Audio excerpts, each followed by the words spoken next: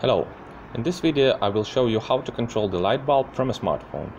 The difference from thousands of such videos on YouTube is that the bulb uh, relay is triggered by a Concox GPS tracker connected to the flespi telematics backend platform and the control is performed using MQTT Dash application via flespi MQTT API. Here you can see how it looks in real life. This is a tracker with LED lights connected through a relay. The relay can be triggered by a special command that can be sent via SMS or TCP connection to the tracker. flespi platform provides API to send such configurational commands via MQTT connection, making it easy to embed to applications like MQTT Dash. So you see, by publishing a special message to a special topic, we can send a configuration command to the tracker.